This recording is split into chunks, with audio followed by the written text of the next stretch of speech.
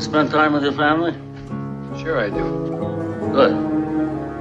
Because a man who doesn't spend time with his family can never be a real man.